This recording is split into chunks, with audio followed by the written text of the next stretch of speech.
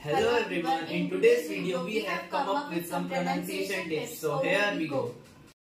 अगर किसी शब्द में टी के बाद ई एन या सी एच आए तो टी का उच्चारण नहीं होगा. For example often listen snatch and soften जब किसी वर्ड के अंत में वाई हो और वाई से पहले एक कॉन्सोनेंट हो या फिर एक ही कॉन्सोनेंट डबल हो तो वाई का प्रोनाउंसिएशन ई e हो जाता है. For example baby greedy and carry thank you